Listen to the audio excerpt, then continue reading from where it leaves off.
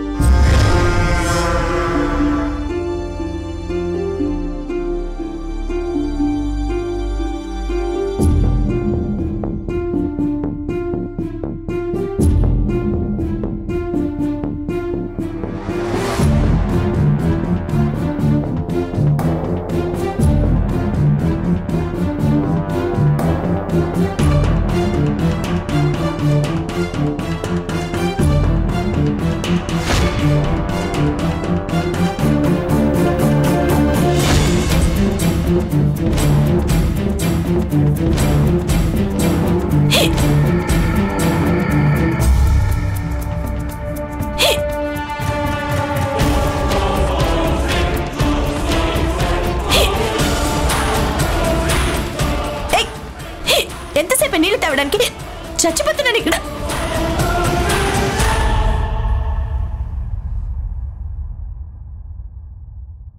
అత్తయ్య అత్తయ్య ఎదుగోండి వాటర్.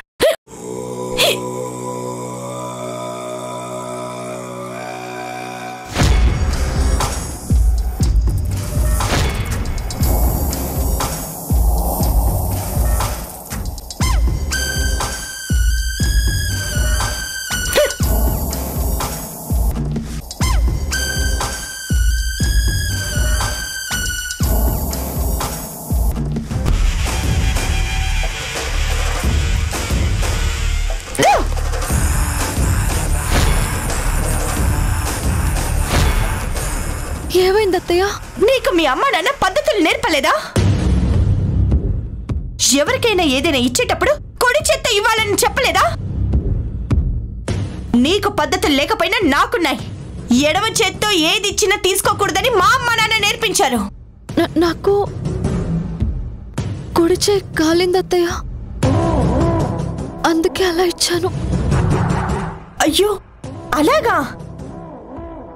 అయినా నువ్వు ఎప్పుడైనా ఎడమ చేత్తో నీళ్ళిచ్చావో నాకు అప్పుడే ఎక్కి లాగిపోయాయి.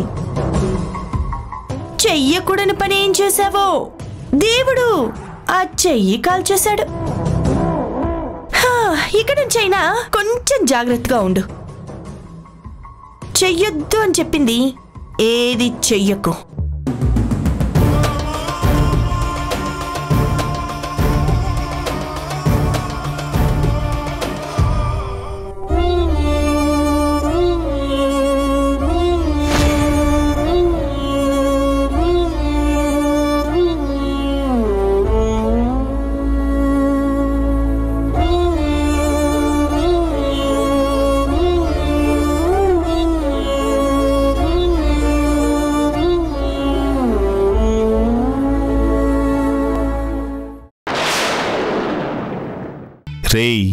కోట్ల మందికి కూతుర్లు పుడతారా?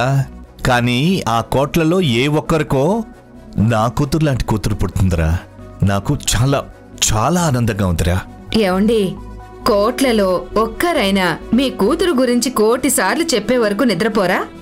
చెప్పిందే చెప్పి అన్నయ్య బుర్ర తినేకండి వచ్చి పడుకోండి నిద్ర వస్తుంది హలో సూర్యుడి గురించి చంద్రుడి గురించి ఎన్నిసార్లు తలుచుకుంటారో ఎవరైనా లెక్క పెట్టుకుంటారా? ఇది అంతే. అబ్బో ఏం బడాయిపోతున్నారండి అంటే ఇప్పుడు మీ కూతురు ఆకాశం అంత ఎత్తులో ఉందనా మీ ఎచ్చులు? హలో ఎచ్చులే ఉంది? నేను చెప్తుంది నిజమేగా? నా కూతురు నక్షత్రాలన్నిట్లో ధృవతార కదా? ఎరమను నిజమే కదా? నువ్వే చెప్పరా? ఏంట్రా మీరిద్దరూ చిన్నపిల్లల్లాగా? చిన్నపిల్లలు మీరా? నా కూతుర్ని అంత చక్కగా సంతోషంగా ఉండడం చూసి నిజంగానే? నిజంగానే చిన్నపిల్లలు అయిపోయావురా రేయ్ వాసు ఎందుకంత ఎమోషన్ అయిపోతున్నావు? రేయ్ నీకో సంగతి తెలుసా? మన పిల్లల్ని చూడగానే నిజంగా నేను మీనాక్షిని పెళ్ళి చేసుకున్న తొలి రోజులు ఆ విశేషాలన్నీ జ్ఞాపకం వస్తున్నాయిరా. ఏంటా మాటలు? రే రే రే రే ఆగరా. కాస్త ఆగు. మనకి యాభై ఏళ్ళు దాటాయి. అది మర్చిపోకు. మర్చిపోలేదురా. కానీ ఇప్పుడు ఆ ఏళ్ళన్నీ కళ్ళ ముందు గిర్రం తిరుగుతున్నాయిరా. అందులో మనం కోల్పోయిన ఇరవై ఏళ్ళ జీవితానికి ఆ దేవుడు అన్యాయం చేశాడనుకున్నానురా. లేదురా. అన్యాయం చేయలేదు. ఆ కోల్పోయిందంతా ఒకేసారి పొందేలా చేయడానికి ఆ దేవుడు దయతలిచ్చి నా నా బంగారు తల్లిని మన జీవితాల్లోకి పంపించాడనిపిస్తోందిరా. ఎంతో విలువైన పెన్నిది మన చేయి జారిపోతుంటే ఆఖరి క్షణాన వచ్చి ఆ జారిపోతున్న ఆ కొసని పట్టుకుని జారిపోకుండా ఆ పెన్నితిని మనకి కట్టపెట్టేస్తుందిరా నా కూతురు. ఇన్నేళ్ళుగా నేను ఖర్చిన కన్నీళ్ళకి నువ్వు ఖర్చిన కన్నీళ్ళకి వడ్డీతో సహా లెక్క కట్టి మన ఆనందాన్ని తిరిగి మనకి అప్పగించేస్తుంటే ఈ గుండెల్లో పట్టట్లేదురా?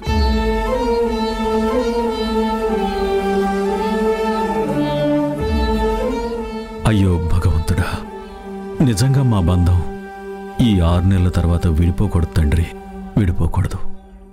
విడిపోతే వీడు తట్టుకోలేడు. రే మనో నా కూతురు ప్రయత్నిస్తాను అంటే తను మీ ఇంట్లో ఉండడానికి ఆరు నెలల కాలం పాటు ఒప్పుకున్నాన్రా. కానీ తను మీ ఇంట్లో వాళ్ళందరినీ మార్చుకుని నేను జీవితాంతం సంతోషంగా ఉండేలా చేస్తుందిరా నా కూతురు. అదిరా నా బంగారు తల్లంటే కథు మీనాక్షి నిజంరా వాసు.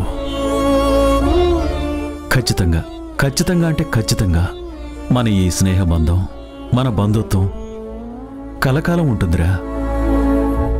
ఊహ తెలియక ముందు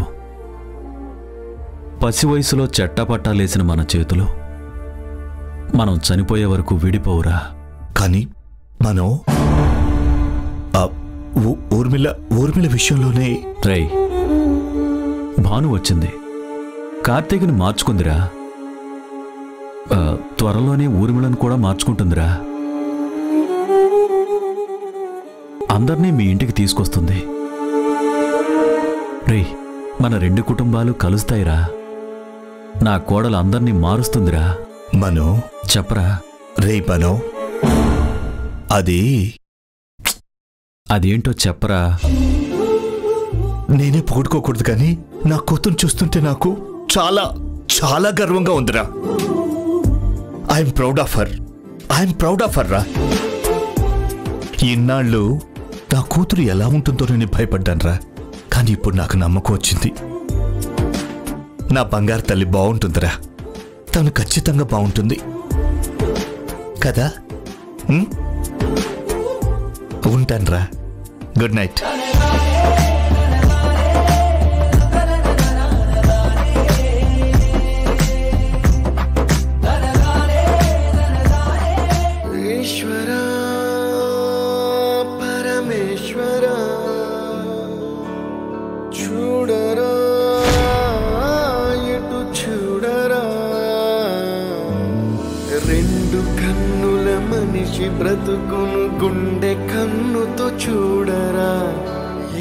Hey stop it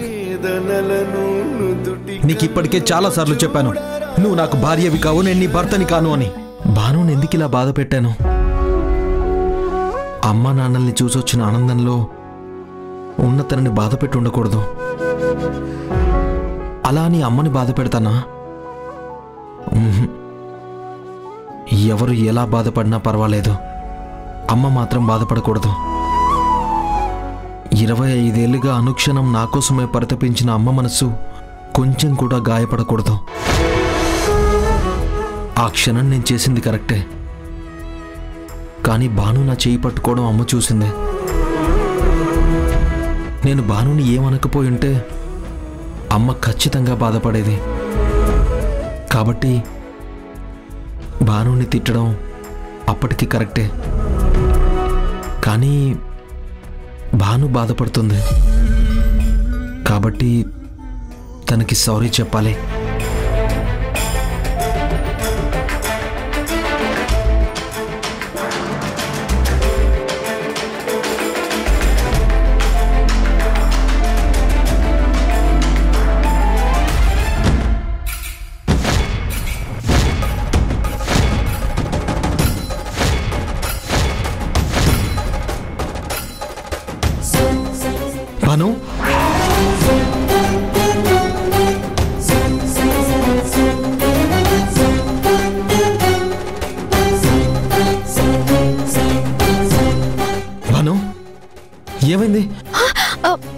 ఏ- లేదండి. నన్ను చూని ఏం లేదంటున్నానుగా.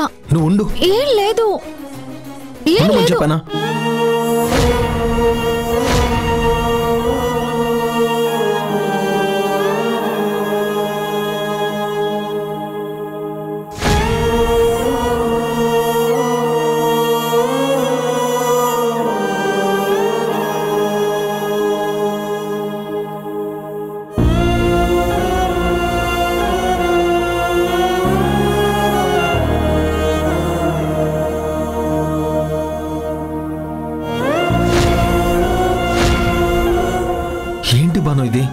ఎలా జరిగింది?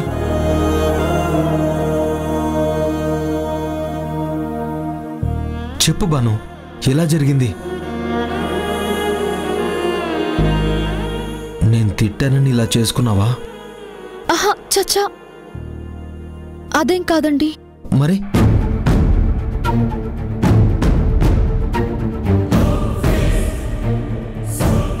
ఇక్కడే గాజు పాత్ర ఒకటి పగిలిపోతే దాని మీద చూసుకోకుండా కాలు వేశాను. ఈ చెయ్యి అప్పుడే ఆ పెనం మీద పడి ఇదిగో ఇలా అయింది.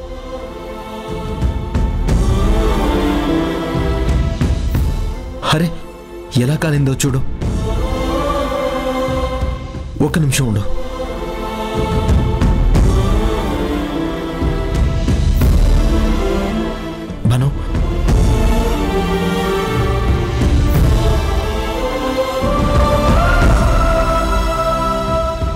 ఇప్పుడు ఎందుకండి తగ్గిపోతుందిలేండి. నువ్వు ఉండు బాను. ఇప్పుడేమొద్దు తర్వాత చేసుకుంటాను.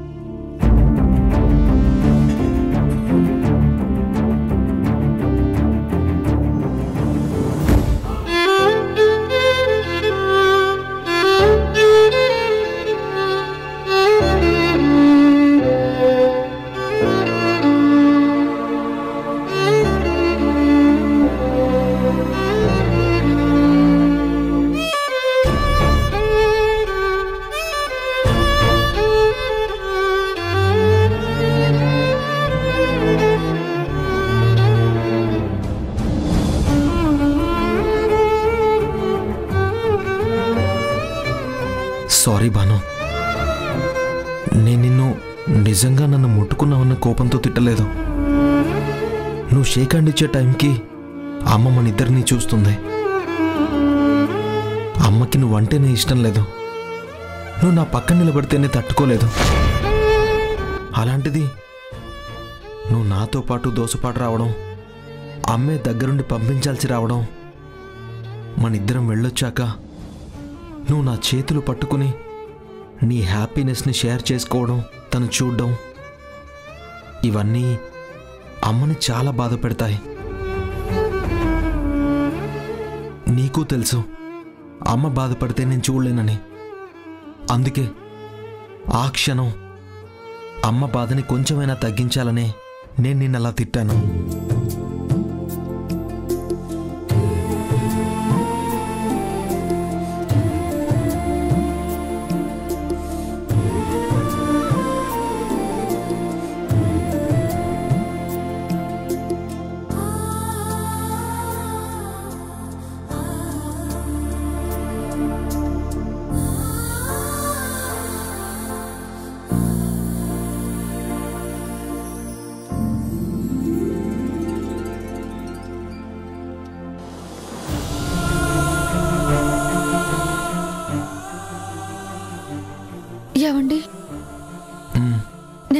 మాట చెప్పనా?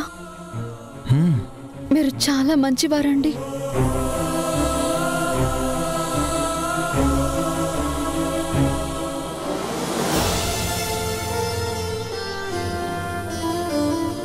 అమ్మని తాళి కట్టిన అమ్మాయిని ఎవరిని బాధ పెట్టకూడదని మదన పడిపోయే మీ మనసు చాలా చాలా మంచిది.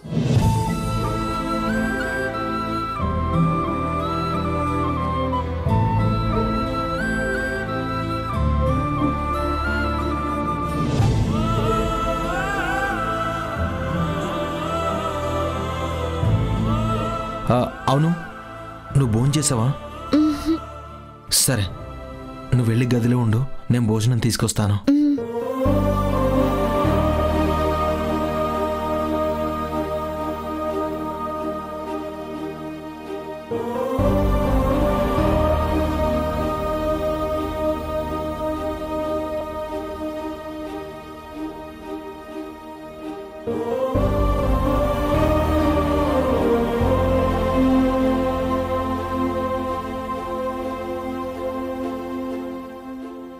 పర్లేదండి.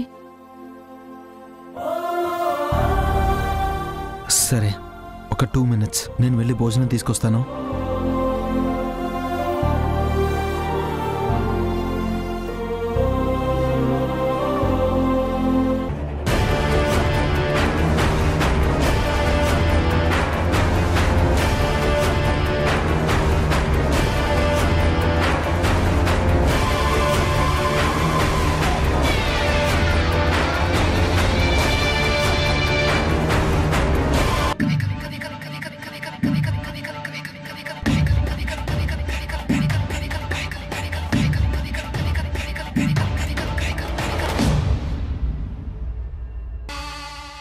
నాన్న ఎవరికి భోజనం?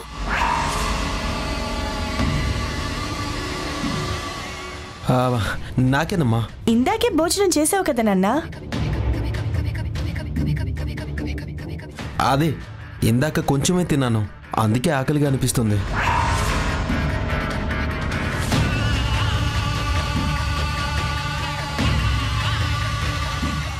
సరే నేను వడ్డిస్తాను కానీ నువ్వు కూర్చో. పర్లేదమ్మా నేను పెట్టుకుని తినేస్తానులే. నువ్వు వెళ్ళి పడుకో. హ్మ్, నువ్వు ముందు కూర్చో. ప్లీజ్ అమ్మా నువ్వు వెళ్ళు. నా కొడుకు ఆకలితో ఉంటే నేను ప్రశాంతంగా ఎలా ఉంటానురా? ముందు నువ్వు కూర్చో.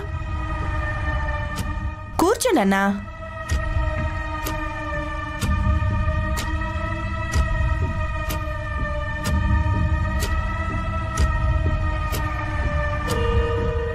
అమ్మా చాలమ్మా.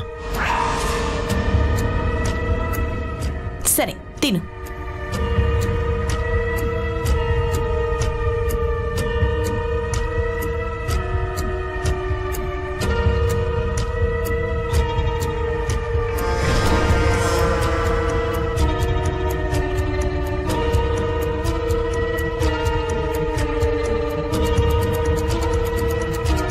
ఇంకొంచెం వేసుకోనానా చాలు.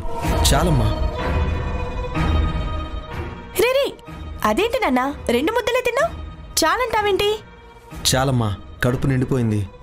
ఆ, నిజంగానే ఆకలి తీరిందా? హా, తీరిందమ్మా. నువ్వు వెళ్ళి పడుకో. నేను పడుకుంటానులే కానీ నాకింకా చాలా పనులున్నాయి. నువ్వు వెళ్ళి పడుకో. పనులు దివ్య చూసుకుంటుందిలేమ్మా. ఏంటి కార్తీక్? నువ్వు ఈ ఇంటి పనుల గురించి ఎప్పటి నుంచి పట్టించుకుంటున్నావు? చికెన్ బిర్యానీ. నీకు బాగా ఇష్టం కదా. తిను. ఇలా ఇవ్వు. నేను తినిపిస్తాను.